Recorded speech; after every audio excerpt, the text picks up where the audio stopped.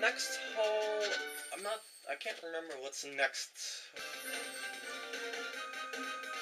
Uh, oh yeah, yeah. This is this one's got two paths here. You can either aim over here and aim straight for the pin on the next shot, or take the long way around and go that way. I actually recommend that you take the tighter shot over here.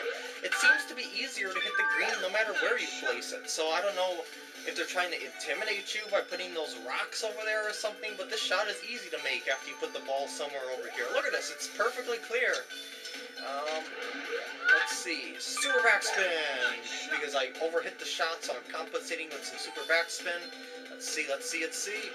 Woo! Go downhill, go downhill. And that's not that bad of a leave. Um, I could have did better. But I think I can still make this putt. It's downhill though, so I gotta be careful with the speed. Yeah. Am as happy as a little girl. Wait a second. That's an old Saturday Night Live reference. If you didn't know that, uh, only some people get that reference unless they um, either watch old episodes of SNL or they watched uh, compilation clips of old episodes of SNL, like the best of SNL or something like that. Um, I really don't watch SNL much anymore. Uh, I used to watch it religiously, but not anymore. I only got a newer cast of characters, I got so attached to the older ones, and I just uh, didn't really get used to the newer ones. Uh, it, it, might be a personal bias on my part, but I just missed a lot of what Saturday Night Saturday Night Live used to be. It's no offense to the creators or anything; it's just a personal preference thing. But hey, why am I talking about TV shows or anything like that? I don't even watch much TV nowadays. I think two more holes to go, and that's it for the day. I am very sad. Oh, this is a cool hole here. Look how far down that hole is. 30 feet down below. I mean, 34 feet down below where the tee box is. By the way, the tee box is the place where you start at. See where those little pyramids are?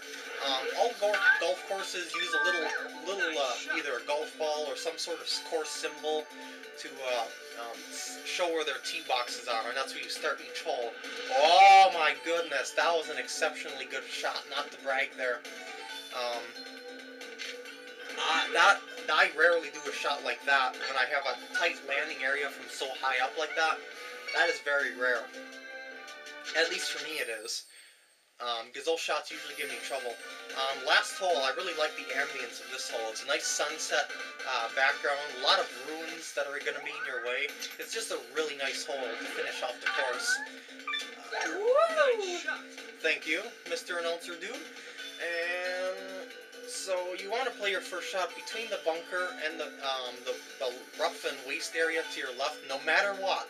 Trust me on this, because uh, you, with a lower powered character like I'm using, you won't be able to make that portion of the fairway, and there's a lot of trouble on your way to this portion of the fairway. Even if you landed short of this portion of the fairway, you, on your next shot, after that shot, there's going to be ruins in your way. Um, oh, oh, the ground is in my way? What the heck is this? okay, I think I got it now. Uh, watch out for that stone pillar over there. Maybe you want to curve it off. oh, I can't curve it like that. Uh, I'm just going to have to live with my shot. Uh, maybe I hit the ball a little too far there. That might have been my fault because I forgot about those pillars over there. I, should I should say it's almost positively my fault. Um, that's a pretty decent shot. It'll be an uphill putt, but it's going to be a big side hill lie like this. Um, this is called a tier on a green. If you did, if you don't know about tiers, um, it's a really really high uphill portion of a green that that's really that has a really steep unpredictable lie. I mean, an unpredictable slope, and that's what a tier is basically. It's multiple levels on a green, and you do not want to be on a different level of a tier than where the hole is, like I am right now. Um, no, that was an okay putt. I guess I could have got that in, but eh, not going to dwell on my mistakes because I'm pretty sure I won this tournament with 9 under par. Yeah, I won my four strokes. Wow. Wow, Bowser just took Bowser to the cleaners. I mean, Peach just took Bowser to the cleaners. Excuse me.